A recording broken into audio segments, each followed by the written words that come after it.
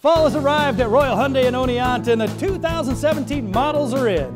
Are you looking for fuel economy? Then check out the ever popular 38 mile per gallon Hyundai Elantra. Need a sedan? Then the 2017 Hyundai Sonata is a great choice.